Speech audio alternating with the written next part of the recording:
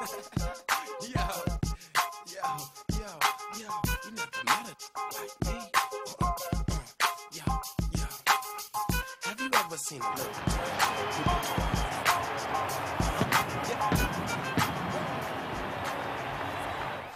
Hi, welcome to a special segment of the Brew Crew Review. Um, of course, your producer Craig, and today we got with us our the Brew Crew Review minor league analyst and uh, amateur baseball draft expert Brandon over here to my right. And uh, so, Brandon, uh, we're going to go over uh, the draft this year. Uh, it always falls on the first Tuesday in May. I mean, in June. This year, it's going to be Tuesday, June 7th. Um, and the Brewers have the fifth overall pick. Uh, and so we're going to talk about some of the choices they may have as far as picking. First of all, uh, you know, the new owner of the Brewers, Mark Attanasio, also, uh, he's going to have some say probably in the pick. Doug Melvin is our general manager, but the real decision gets made by our scouting director, and that's Jack Zduriencik, who's done a fabulous job since Taylor left. Or actually, he came in uh, in one of Taylor's, uh, with Taylor, I believe, actually, and uh, he's been doing great and really re- restocking our minor leagues since that year, uh, 2000. So, um, but let, us uh, first review some of the Brewers, and just so you guys are familiar, the amateur, amateur baseball draft, it's uh, about 40 round, rounds long, I believe.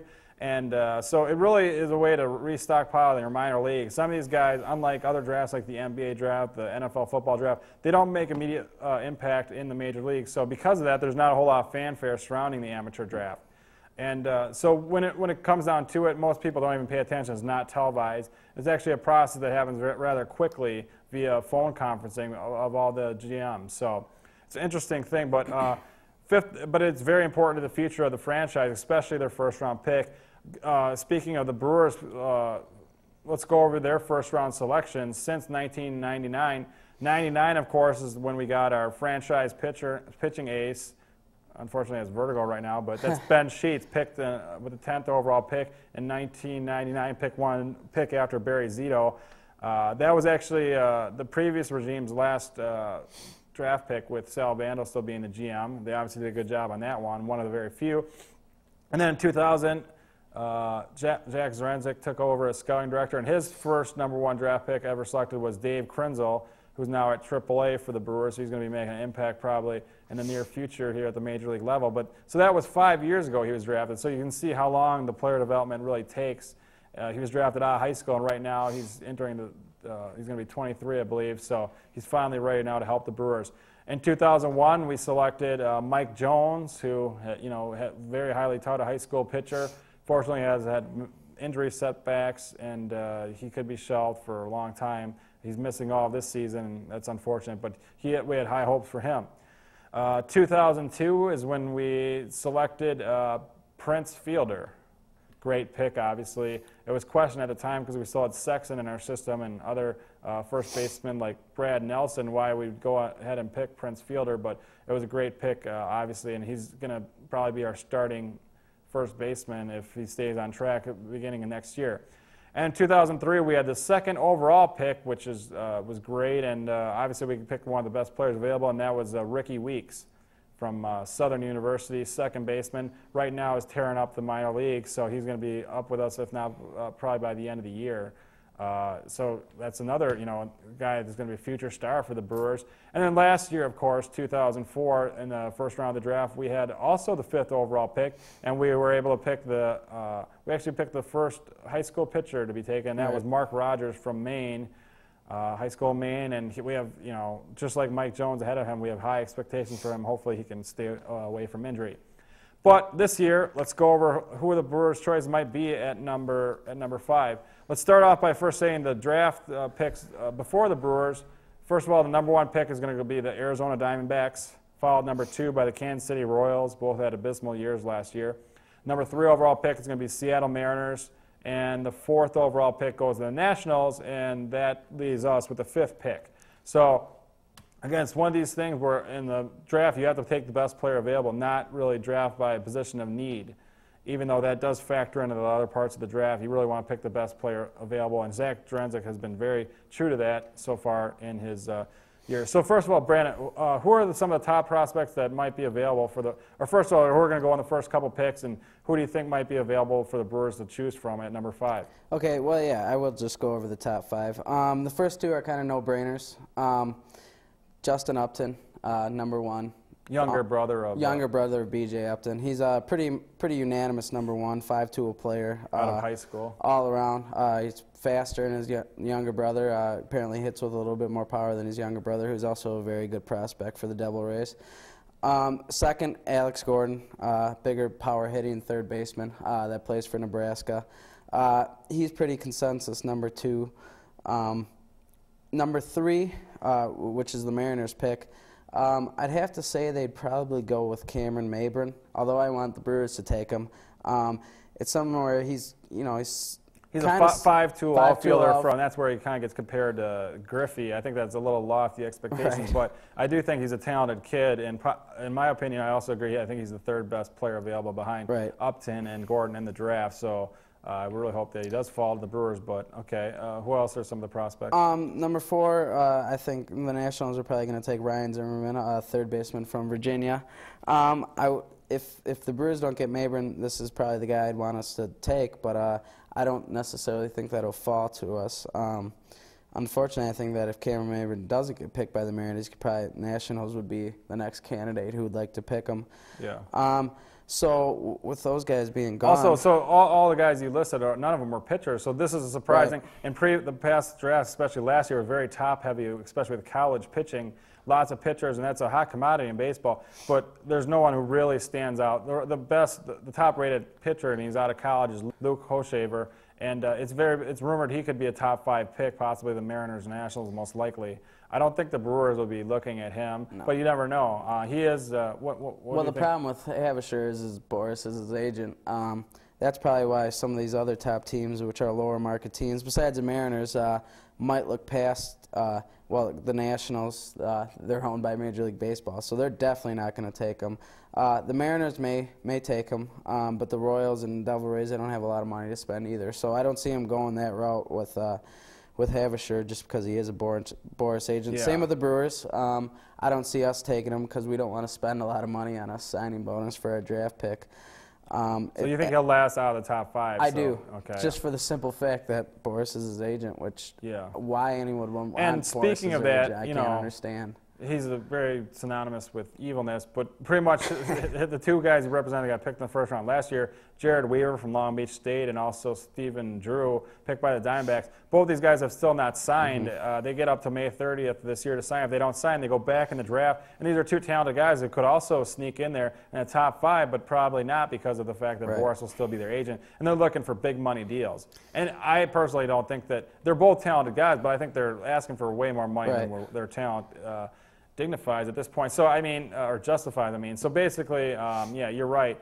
Uh, but I, I don't know. I think uh, I wouldn't. I would not be surprised if the Mariners took a shot at Ho- at Hochevar if they are interested. But Yep. uh, I guess we'll see. But uh, let's try to predict who do you, who do you think will be picked at each slot until the Brewers pick. Uh, who do you think that each each team's going to take, starting with the Diamondbacks, number one overall? Well, like I said, Justin Upton's pretty consensus, number one overall. Um, I think that's going to be their pick. Um, and second, Alex Gordon. Um, you know, if Justin Upton does happen to fall, Alex Gordon would be number one, and Justin Upton will go number two. So either way, I think it's going to be one and two, um, depending on which way they fall. Now, there's some talk though if the if the the, the Royals really like the high school guy. If, if uh, Upton went number one, and the Royals, of course, if he slipped, would take him in a heartbeat. But let's say that it does happen, then Alex Gordon. Uh, you know, the Royals are deep in their system. They have Billy Butler, they drafted in the first round last year at, at third base. They also have Mark Teahen, almost ready for the majors. They, they don't necessarily have a need at third base. And also, uh, Gordon is going to have a, hefty price tag to him.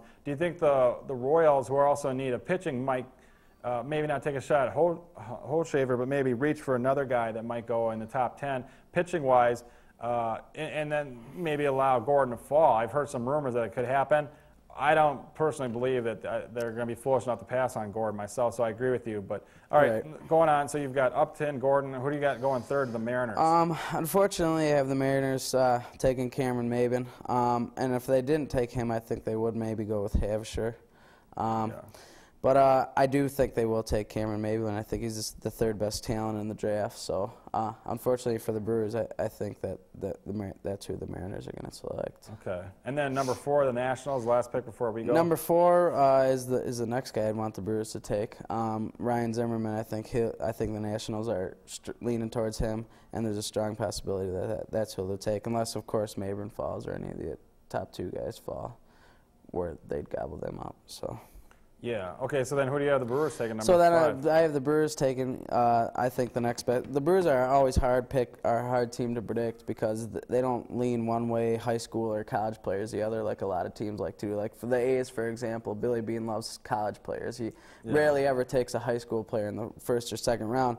So uh, the Brewers are a hard team to predict that way. But I, uh, I but think, uh, Zduriencik's only taken one college player in the first round. well, right, but he doesn't have any. Yeah, you know, he's taking Yeah, I college think he, players in the up second and down. He, he doesn't have any Right, preference. he just tries think- to take the best player and that's what you should do. hmm That's what I think as well. I, I think that, especially in baseball, you shouldn't look for to fill positions of need because they are three or four years away. Who knows what could happen in three or four years? Yeah. You know, Yeah.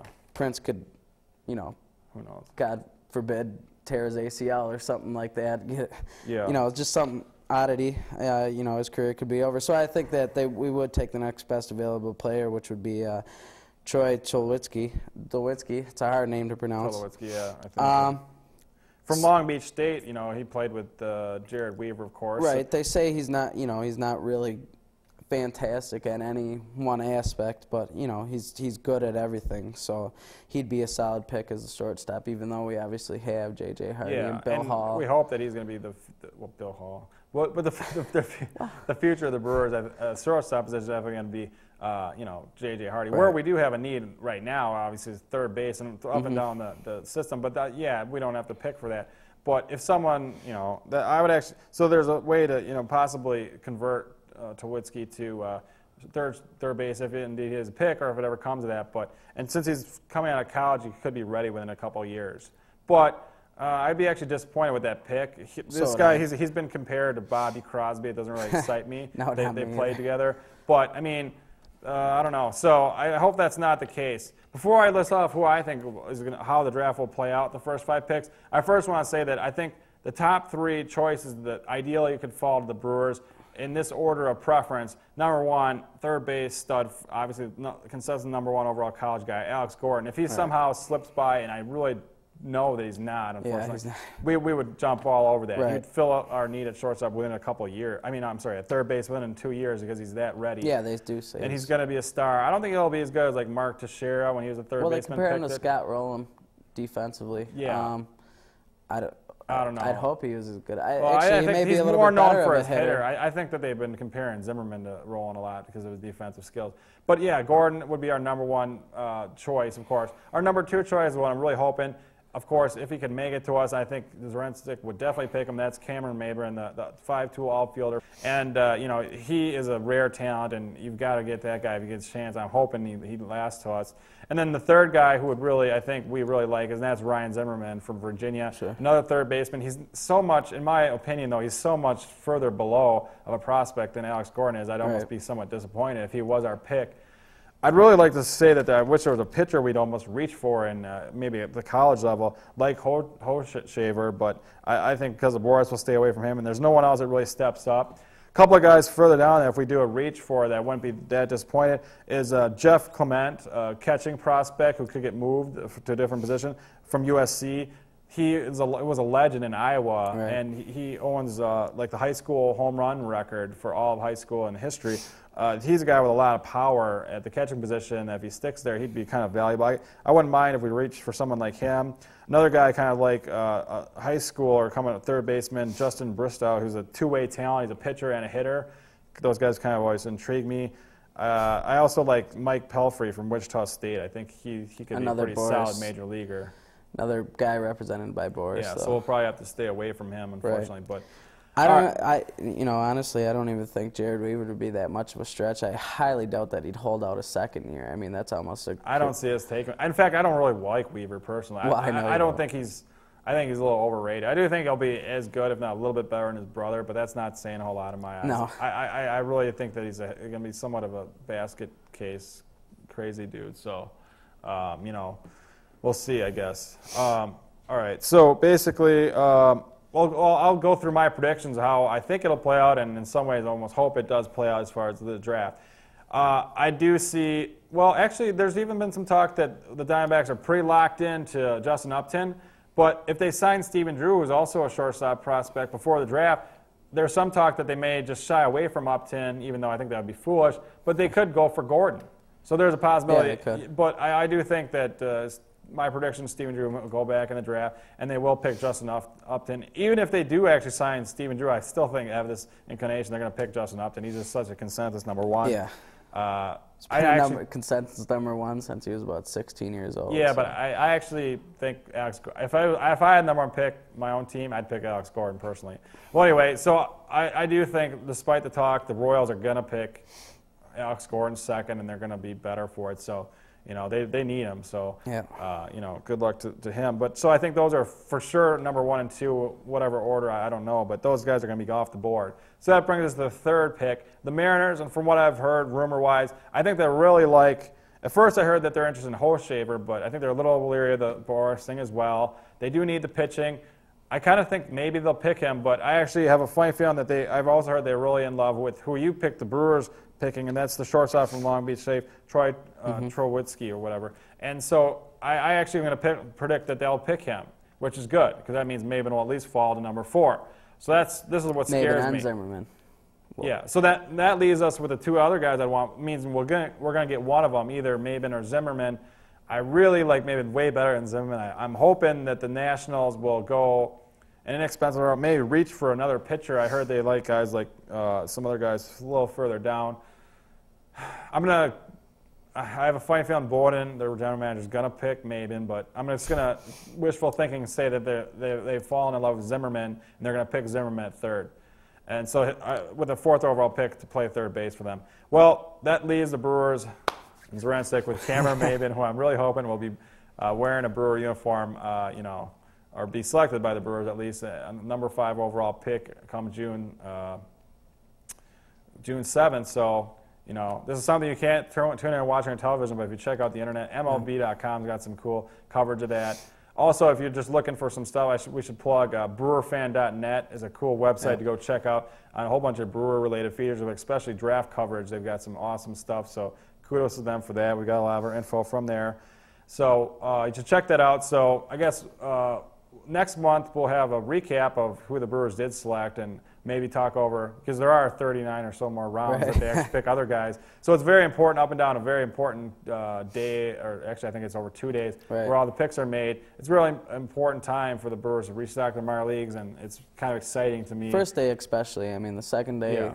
21 through 40. I think the second day is a lot of those guys will actually go to college. Um, Yeah, Or possibly. well, won't be. So a lot But of the some guys, guys, on the first day won't like we get guys signed like. Manny Parra who are draft and follow type guys like in a 20-something route, Yep. and then we sign him for a big bonus the next year before he goes back to college or Right. whatever. And uh, so there's always some good finds and stuff like that. So go Manny Parra, by the way. But anyway, other well, unfortunately we don't have a second round pick this year, and we've had some great second round picks under Zar- Zduriencik with. Uh, uh, you know, J.J. Hardy, Brad Nelson. He Josh Murray.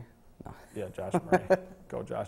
And also, well, he picked Lou Palmazan in the third round, so that Sure. was pretty cool after he made a mistake of picking Tony Gwynn Jr. or whatever. But uh, Who's hitting 320 with 17 stolen anyway, bases. he's not like his double father. A, by the way. Don't be fooled. He's not like his father. He's a he's a di- little bit different of a breed, but I think he's very good defensively, and he could be a good player. Anyway, so. what I was going to mention, we don't have a second round pick this year, though, because we signed Damian Miller, so we, we had to uh, forfeiture that over to the. Who the hell did he play for? The A's. Who knows?